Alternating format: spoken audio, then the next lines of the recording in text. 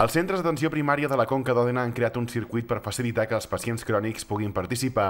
en qualsevol dels grups del programa Pacient Expert Catalunya de l'any 2018, amb l'objectiu que coneguin millor la seva malaltia a partir de l'experiència d'un altre pacient que també la té, per tal de millorar els símptomes, el compliment del tractament, tant farmacològic com no farmacològic, com per exemple la dieta, i de detectar els signes d'alarma per poder actuar amb rapidesa en cas de descompensació.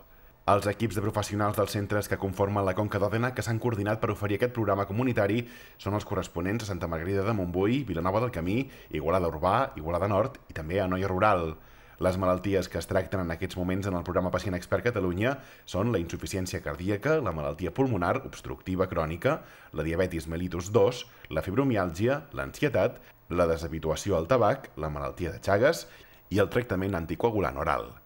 El calendari dels grups per al 2018 es definirà i es farà públic als centres d'atenció primària de la Conca d'Òdena.